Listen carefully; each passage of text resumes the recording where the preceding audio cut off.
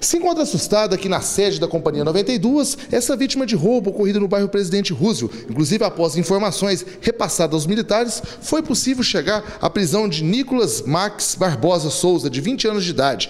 E para saber mais detalhes a respeito desse fato, inclusive eu estou aqui com o soldado Ferreira, os materiais aí desse crime foram recuperados. Soldado, o que, que o senhor pode passar aí da dinâmica desse fato? Fomos empenhados até o local do fato, onde deparamos com a vítima, né? Ela nos relatou que havia sido roubada.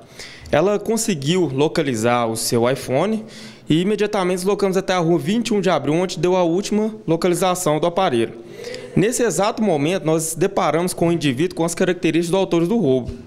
Imediatamente efetuamos a abordagem e encontramos todo esse material na posse do referido autor. Felizmente a vítima conseguiu localizar o aparelho e nós logramos êxito aí na apreensão do, dos materiais, bem como na prisão do referido autor. Ele já possui crime de furto, né?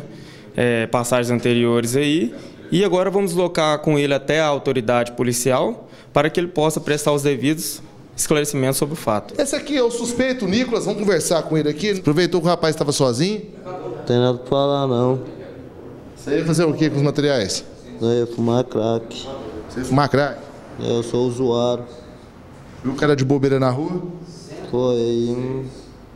Pois é, mas segundo informações aí, Nico, é que, é que vocês ameaçou ele ali, inclusive estava você mais outro rapaz. Não tinha ninguém comigo não, tinha ninguém comigo não, tava só eu, corri, eles me pegou e agora eu tô aí preso aí. Você tem uma ficha extensa aí, não pretende sair dessa vida não?